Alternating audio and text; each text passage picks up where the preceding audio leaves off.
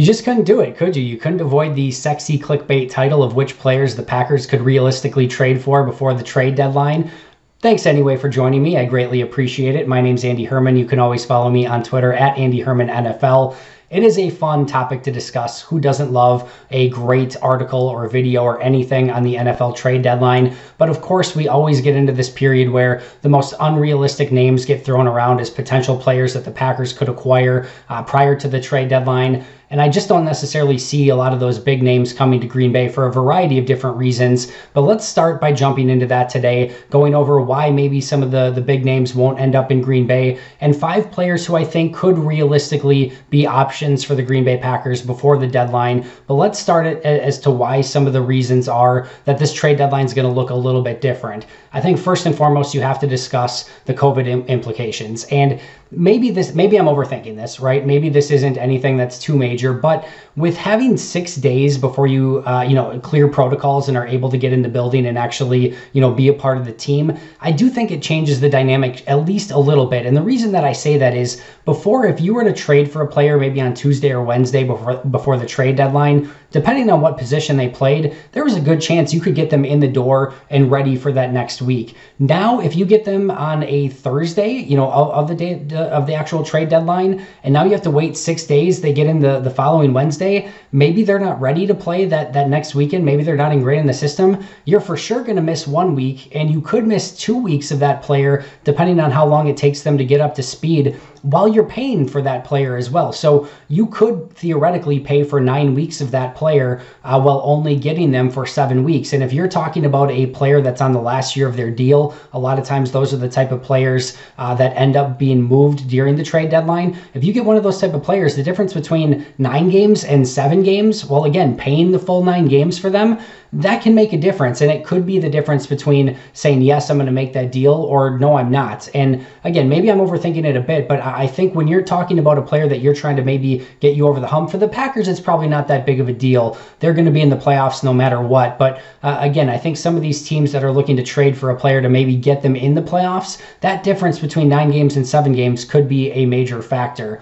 Another major factor in this trade deadline 14 teams making the playoffs instead of 12. Those two additional teams may not sound like much, but a lot more teams could feel like they're maybe just a player away, or maybe if they just stay pat, that they could get into the playoffs. And maybe they either stand pat or they become buyers instead of in a normal season, them actually selling off players and trying to build for the future. If a team is maybe a game or two, you know, outside of that seventh playoff spot, before that might have been three, three and a half games out of the, the sixth spot, and maybe now they're a little bit closer closer and hesitant to trade some of the players on the team, I think that could make it more difficult. Uh, again, at the trade deadline, less teams wanting to trade, and that could make the value of the players that are available go up, which could again maybe make it out of the Packers' price range. You know, Brian Gutekunst is from the family tree that doesn't like to give up draft picks all willy nilly, so that could absolutely play a part as well. I think the NFC East is another interesting uh, topic point here. All four of those teams should be sellers at the trade deadline. All four of them. They're all very bad football teams, especially now that Dak Prescott is out for the Cowboys.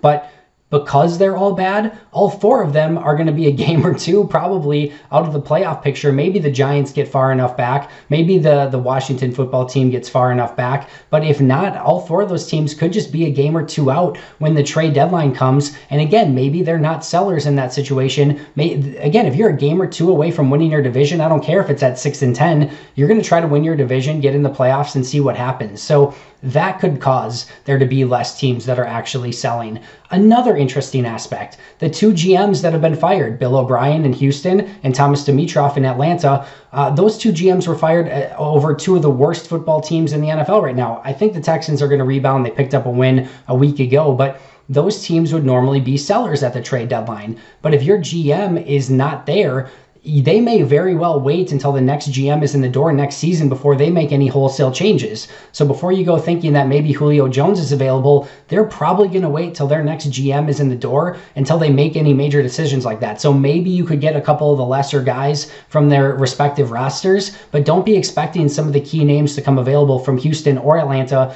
until they secure a GM. And I don't expect that to be before the NFL trade deadline two other factors that affect the Packers. One, the NFC North. Again, the Vikings and the Lions could very well be two of the, the rare teams that are actually looking to sell. probably not going to sell their players to the Packers, or if they do, it's going to come at an exorbitant cost. So those are two more teams that are probably out of the discussion.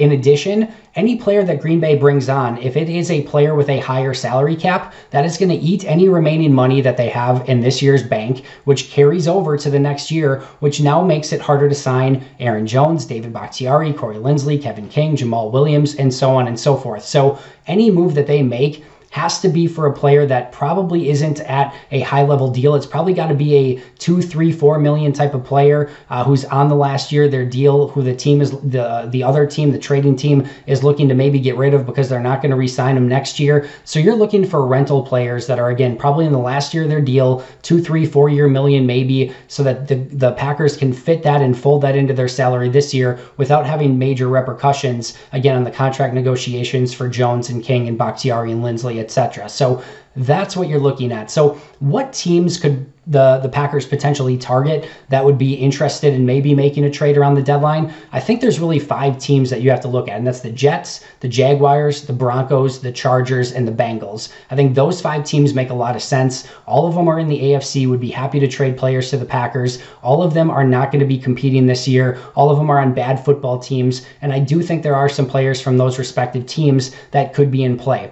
So let me give you the five names of players that I think could be in play for the Packers before the deadline. All of these players are in the last year of their deal. All of them are going to be making less than three million, so they're able, or right around there, when you take uh, into consideration the proration of you know how many games they'd actually be playing for the Packers. So it's three million or less.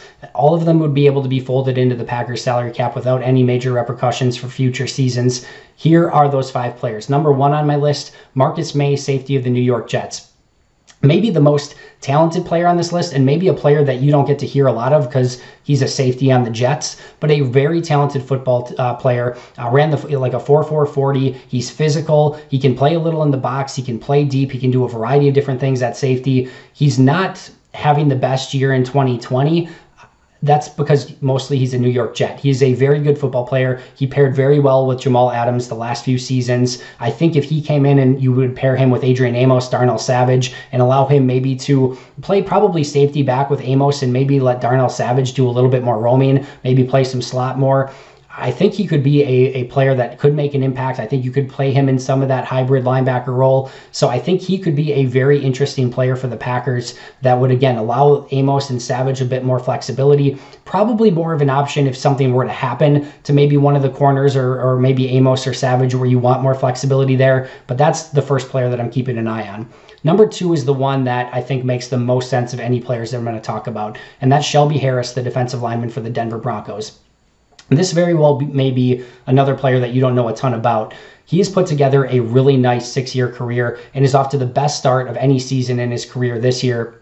He's got 10 pressures already on the season, three sacks. His run defending is better than his pass rush, according to Pro Football Focus. He's doing everything. He's 6'3, 300 pounds. He would pair beautifully with Kenny Clark and Kingsley Keke along the defensive line, put Za'Darius Smith and Rashan Gary on the outside, and you have a five man front that can not only get to the passer, but can set the edge, that can be very good against the run. I love this potential uh, trade for Green Bay. He's not going to require a premium draft choice. Denver's going to have to re sign Justin Simmons. They've got some interesting things with Von Miller. They probably have the cap if they want to keep Shelby Harris, but they could also sell high. This is probably the most value Harris is ever going to have. And again, he's on the last year of his deal. So I think this deal could make a ton of sense for both teams. Draft pick to Denver, Shelby Harris to the Packers could be a major get for Brian Gutekunst and company.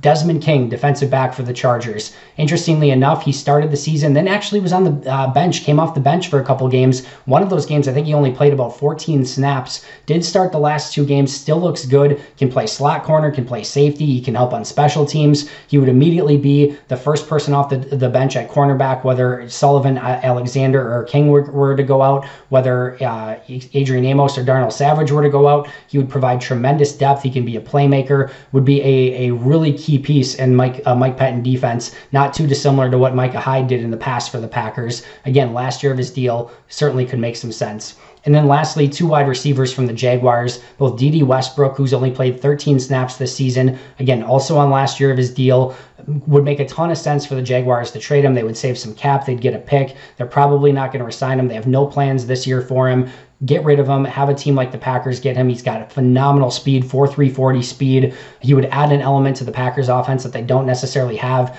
Take some of those snaps maybe from Tyler Ervin in the slot. He can be a returner. He can do a lot of different things, and I think he fits well in Matt LaFleur's system. And then Keelan Cole, wide receiver for the Jaguars, 21 catches, 219 yards, and three touchdowns already. The fourth best run blocking wide receiver for Pro Football Focus. Basically, your new Allen Lazard, who also came from the Jaguars. We'd be able to fill that role, quickly gain confidence with Aaron Rodgers. Strong route runner, maybe not the most explosive player, but kind of more the type of wide receiver that the Packers look for.